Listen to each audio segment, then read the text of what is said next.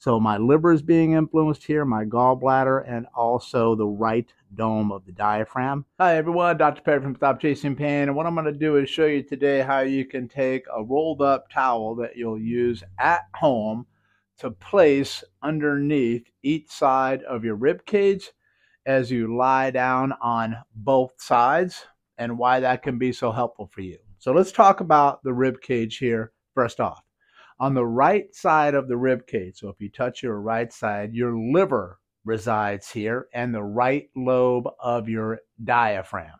Okay. Now, the liver is a large organ. It goes actually all the way over towards the left hand side of the rib cage. And on the left hand side of your rib cage here, you've got your spleen.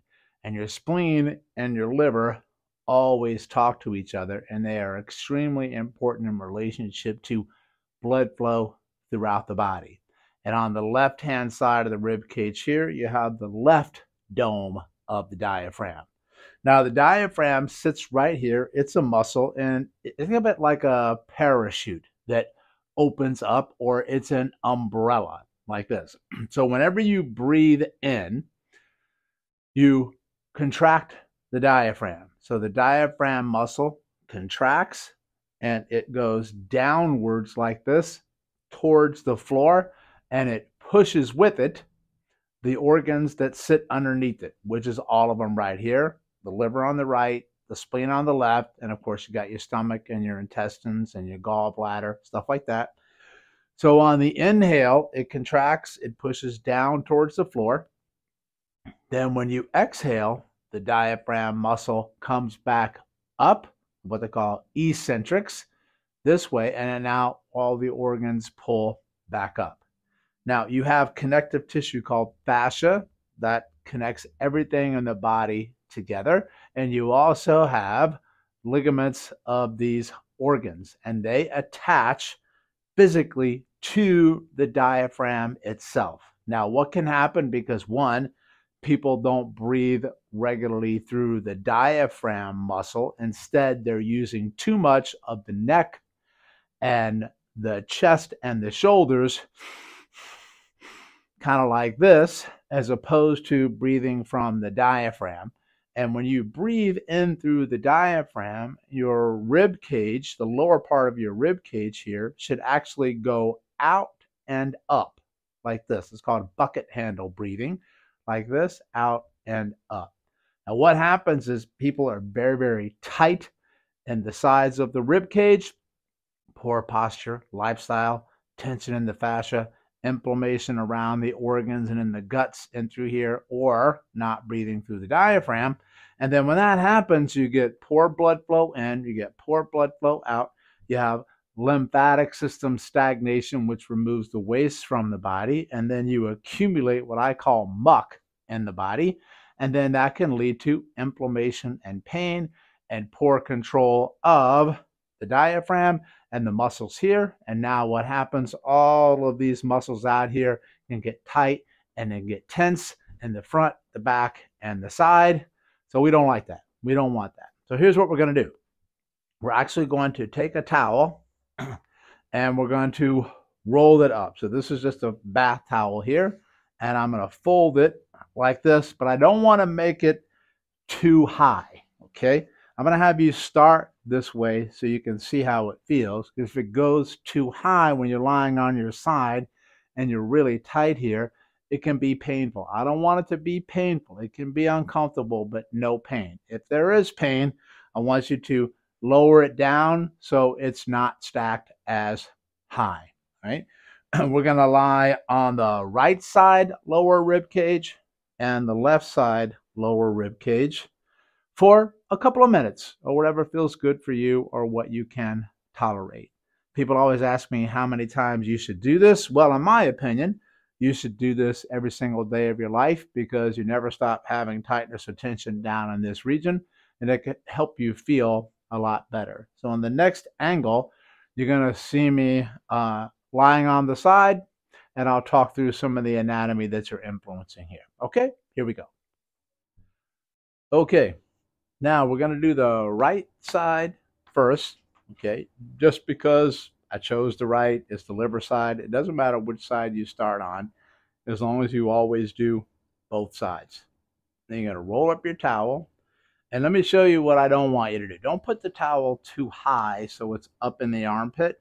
And don't put it too low so it's along the waistline. You're going to find the lower margin of the rib cage, and that's going to be where the bottom of the towel sits. So it's going to go right there.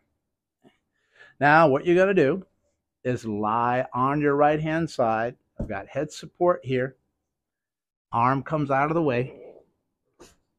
I like to stack my feet, my knees, my hips, and my shoulders together.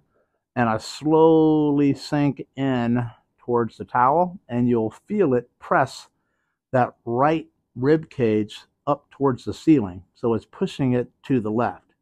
And it's moving the contents on the right to the left. So my liver is being influenced here, my gallbladder, and also the right dome of the diaphragm. And of course, don't forget you've got your large intestine that sit there. Okay. And I'm just to take this arm, put it wherever I like here, or I can support it in the front a little bit to support some of the pressure going into the towel. And just relax and breathe. Try to breathe in through your nose and out through your nose, or in through your nose and out through your mouth, and relax there for a couple minutes. Now you can explore positions too. If you want to take this top arm and kind of raise it over your head like that, what that's going to do is just stretch and open your left hand side as you can see that here and it's going to allow me to put a little bit more pressure in towards the roll it's whatever you want to do. And when you press this right side towards the left side, I'm actually creating space. Now, why is that important? Because when you create space, you're going to improve blood flow in, blood flow out, lymphatic flow to get rid of the waste. And that's going to ease tension on the fascia and the nerves around that region.